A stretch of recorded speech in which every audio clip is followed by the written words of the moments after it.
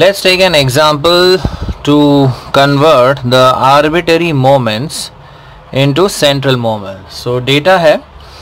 a is equal to 1 अब remember मैं नू वर्ड यूज़ नहीं करूँगा कन्फ्यूज़न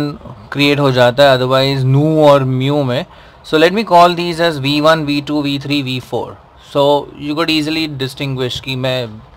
नू बोल रहा हूँ या म्यू बोल रहा हूँ so let me address these as V one V two V three V four तो ये चार आर्बिटरी मोमेंट्स दिए हैं। एंड आपको फाइंड करना है एक्स बार यानी कि mean then the four central moments mu one mu two mu three and mu four So, we begin with the first one. Now, please remember this relation that V1 is equal to x bar minus A. Okay. So therefore V1 is given as 2, x bar is not known and A is equal to 1. So minus 1. तो इसमें से आपको value आ जाएगी x bar की so x bar that is mean is equal to 3 और अब हमारे conversion actually start होते हैं that is we find mu one mu two mu three and mu four Now as we know that the first central moment is always zero so mu one की value अब directly लिख सकते हैं zero so mean value हो गया mu one which is zero right now we go to mu two अब mu two is nothing but v2 minus v1 square. So let us substitute v2 which is 5 minus v1 that is 2 the whole square. So 5 minus 4 equals 1. तो ये हो गया second central moment. Let's move to the third central moment यानी mu 3. If you remember we first write the coefficients 1, 3, 2. You begin with V3 end with V1 cube and three के साथ आता है 3 2 1 वो ऑर्डर याद कीजिए. So V2 V1 and then minus and plus now let us substitute V three V three is equal to three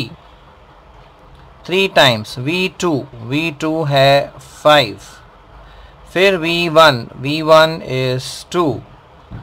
plus two times V one cube यानी कि two cube let us simplify this तो ये हो जाएगा three five two ज़ा ten into three ये हो जाता है thirty plus this is eight two cube is eight into two ये हो जाता है sixteen so sixteen plus three is nineteen nineteen minus thirty तो ये हो जाता है minus eleven so mu three value is minus eleven अब लास्ट हमें फाइंड करना है mu four so mu four के कोएफिशिएंट्स क्या थे? One four six and three correct mu four start होता है वी फोर से एंड होता है V one raise to four से.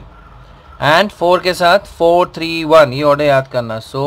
V three V one and six के साथ v2 and v1 square. So v2 and v1 square. Again negative positive and negative so minus plus minus अब substitute करते हैं v4 v4 is 7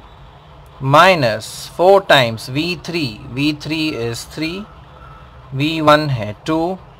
plus 6 times V2 V2 is 5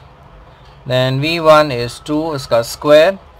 and 3 into 2 raised to 4 right so if you proceed further ये आएगा 7 minus 4 3s are is 12 12 into 2 ये हो जाता है 24 plus 6 5s are 30 30 into 4 ये हो जाता है 120 और आखिर में two raise to four is sixteen sixteen into three is forty eight so if we proceed further and simplify this तो ये हो जाता है 120 plus seven this is 127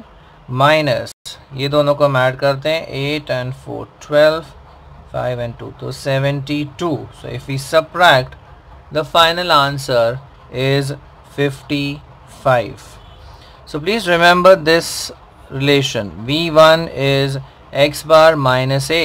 v1 one substitute कीजिए। यहाँ पर ए की value so from your you get mean then first central moment is zero second central moment is V two minus V one square simply substitute your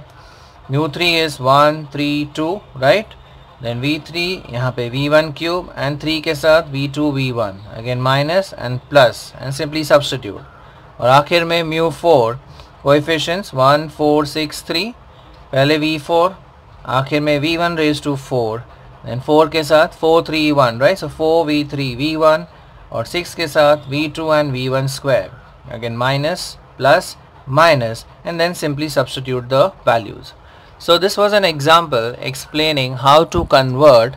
arbitrary moments into central moments